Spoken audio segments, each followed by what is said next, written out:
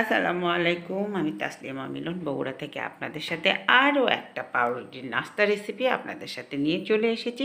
আশা করি ভালো লাগবে, করে খাবেন, কেমন লাগল জানাবেন। আর পাউরুটির যেহেতু নাস্তা রেসিপি সেহেতু তো একটা পাউরুটি নিয়েছি, তার সাথে ডিম, ডিমটা বয়েল করে নিয়ে দুপাক করে কুসুমগুলো একটু কাটা চামচ দিয়ে এটাকে ম্যাশ করে নেব। কুসুম এবং সাদা অংশ দুটোই কাঁটা চামচ দিয়ে আমি একটু ম্যাশ করে নেব। এই নাস্তাটা কিন্তু শীতের বিকালে চায়ের সাথে টা হিসাবে অসম্ভব ভালো লাগে। আর মেহমানদারিতেও কিন্তু খুবই এই সময়, শীতের সময় কিন্তু সব বাড়িতেই মেহমানের একটা আনাগোনা থাকে। কারণ স্কুল, কলেজের পরীক্ষা সব শেষ হয়ে যায়। আর শীতের এই সবজিগুলো দিয়ে এরকম একটা নাস্তা রেসিপি করে খেলে কার না ভালো লাগে? সবাই, সবারই খুব পছন্দ হবে। তো এই জন্য তো মশলা দুটো নিয়ে নিয়েছি, সস নিয়েছি। আর তো দেখতেই পেলেন টমেটো, তারপরে ধনা পাতা পেঁয়াজ, কাঁচামরিচ, তারপরে আপনার গাজর, কিশমিশ মানে সব মিলিয়ে একটা সবজি দিয়ে এই স্ন্যাকটা করার জন্যে তৈরি করছি। আর এটা কিন্তু খেতে খুব ভালো। এই স্ন্যাক বিকালে বাচ্চাদের তো অসম্ভব ভালো লাগে, তাছাড়া বাসার সবাই খুব পছন্দ করবে। তো এক এক করে আমি থরে থরে সেজিয়ে, সাজিয়ে দিচ্ছি। তো আগে কুসুমগুলো দিয়ে দিলাম, তারপরে ডিমের সাদা অংশ দিয়ে দিলাম। এখন উপরে দুটো টমেটো দিয়ে দিব, তারপরে এক এক করে পেঁয়াজ, কাঁচামরিচ, তারপরে আপনার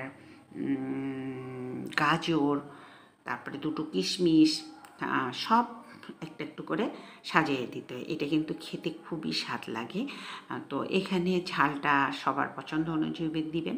আমি আমারটা অনুযায়ী দিয়েছি। কিশমিশটা দিয়েছি, এটা কিন্তু আরও মজা লাগে। তো এখানে একটু ধনা পাতা দিয়ে দিলাম। ধনা পাতার উপর একটু বিট লবণ দিব।